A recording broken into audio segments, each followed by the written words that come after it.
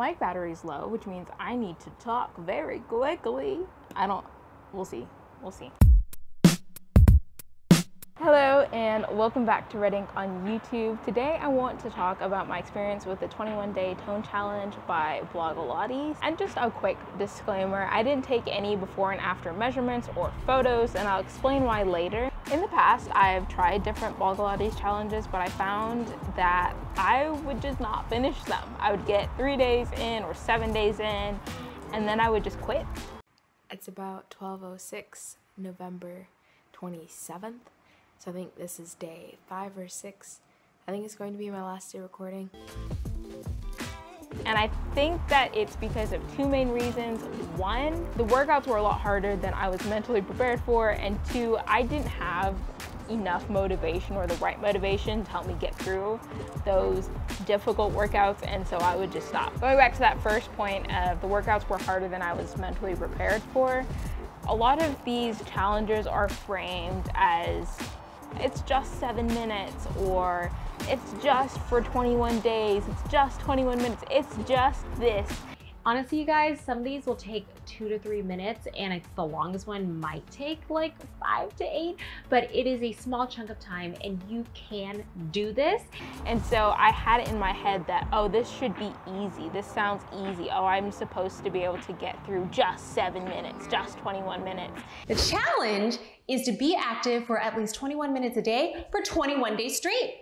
That's it. And so even though I knew that these challenges would be difficult, I never really let myself accept them as difficult. And so I'd find myself either really frustrated with where I was and how much I was able to put into these workouts, or I would find myself overexerting um, myself to try and live up to my expectations. The first day I would, you know, struggle through it. The second day I would struggle through it. And the third day I would be like, I'm exhausted. I'm mentally exhausted. I'm physically exhausted. When my expectations didn't meet my reality, I would lose motivation. Going into this challenge, I knew that I needed a different mindset. And so I made my own rules. No rules Number one, I wouldn't exercise for seven consecutive days. The way the official calendar is set up, you have six days on, and the seventh day is reserved for a stretching routine. But it was still a video that you had to watch, and so it was 21 days on. When I hit around day six, and I had a headache, and I was just feeling gross, and I was exhausted, I let myself take the day off, and then I went ahead and did the day six workout on day seven. Right now, I am approximately four, five days behind. Uh, the challenge officially ended today on the 25th of January, or actually yesterday, today. But I still have about a week left and I'm okay with that. Number two, I would take longer than 15 second breaks in between moves. Most of the videos are organized to have three rounds of seven moves that are 45 seconds on and 15 seconds off. And there were times that I just sat out for an entire minute and I was like, you know what?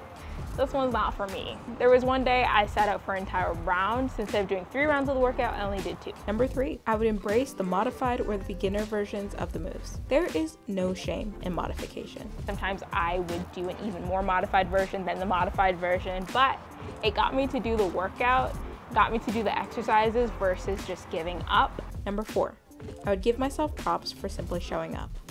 If I attempted the workout for that day, it was a win, and I gave myself a little check mark on the calendar.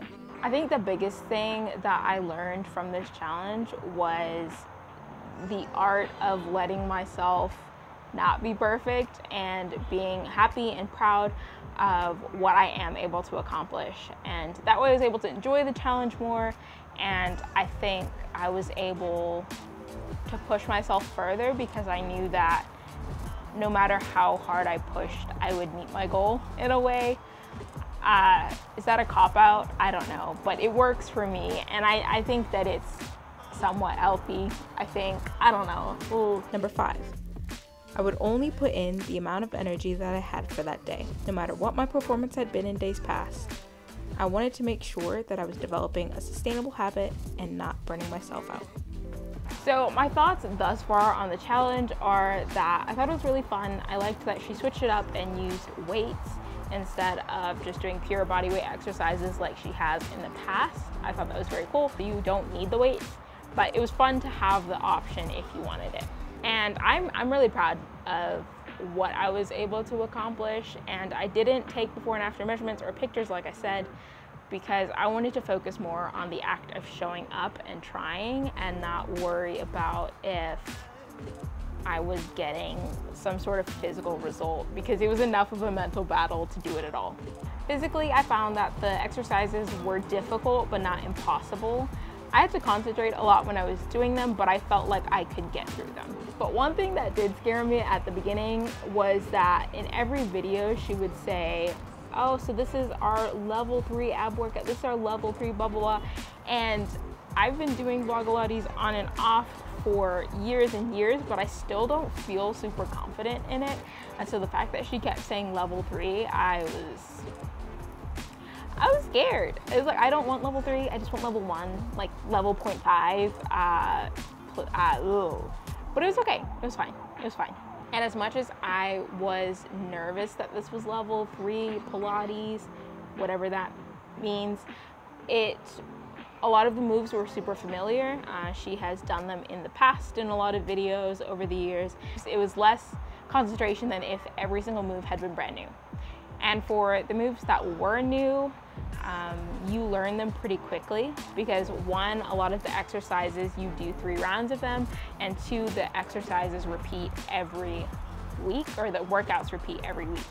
And so if you didn't know it in the first round, you know, by the sixth or the ninth time that you're doing it in the month, you'll know it. So overall, I really like the videos. They're fairly easy to follow. I did end up using my own music or listening to a podcast while I did the workout just to keep it interesting and to give me something else to focus on other than the clock. I, I don't know if I would recommend this challenge. It was a lot of fun, and I would say if you're interested in doing it, go for it. Uh, try it for a day or a week or the whole 21 days. Do it for three months on repeat. I don't know. Um, I would say just try it, and if you like it, you like it. And if you don't like it, it's okay. At least you tried. I think it's definitely worth trying. And if you are intimidated by the level three ness of the videos or by the length, the 21 minute length, then I would recommend doing the exercises for shorter. So do one round instead of all three or do two rounds or whatever combination you want to do. Or uh, there are a lot of five minute and seven minute workouts on the Blogilates challenge, challenge channel, channel that you can try out and decide if Pilates is for you. Thank you so much for watching. Let me know in the comments below if you tried the 21 day tone challenge. Did you like it? Did you not like it? Have you tried other really popular fitness challenges like the Chloe Ting challenge or whatever? Um, let me know what you think of them.